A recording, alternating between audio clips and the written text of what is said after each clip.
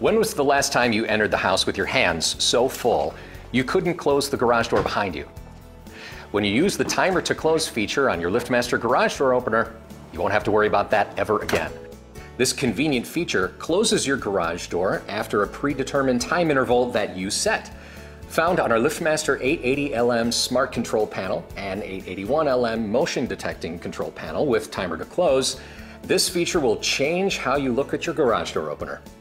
This feature is only available on LiftMaster garage door openers with models that have a yellow Learn button. Also, timer to close is only for sectional doors, not one-piece models. When the door closes with the timer, there's a built-in safety feature that signals the door closing with beeps and flashing lights for 10 seconds before the door closes. This signal continues while the door is closing, so that the door doesn't take anyone by surprise. Programming your timer to close feature is easy. Let's start with the 880LM Smart Control Panel, and then I'll show you how it works on the 881LM Motion Detecting Control Panel. To set timer to close, first push the menu button. Use the down arrow button to navigate to TTC off, and push the enter arrow. Here, we can select the time interval that we want the door to close in.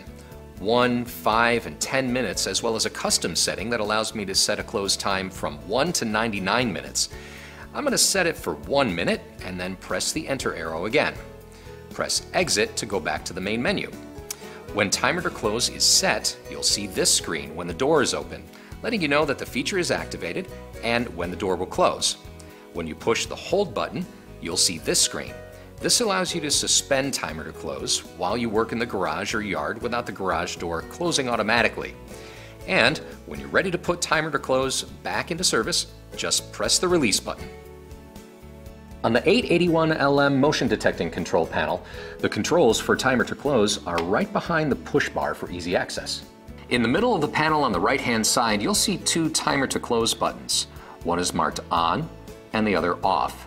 To set the time to close, press and hold the on button until one of the timer to close LEDs lights up.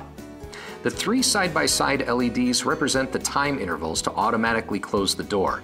The LED on the left automatically closes the door after one minute. The middle light is timed to close the door after five minutes. And the LED on the right will start the door closing after 10 minutes have passed. To select the desired time, press the on button again. Each time you depress the on button, the indicator LEDs will cycle through the pre-programmed settings. When the LED indicating the time you'd like to have the door closed lights up, stop pressing the on button. Your timer to close feature is now ready to use. No more struggling to close the garage door when your hands are full. Timer to close from LiftMaster makes your life a little easier.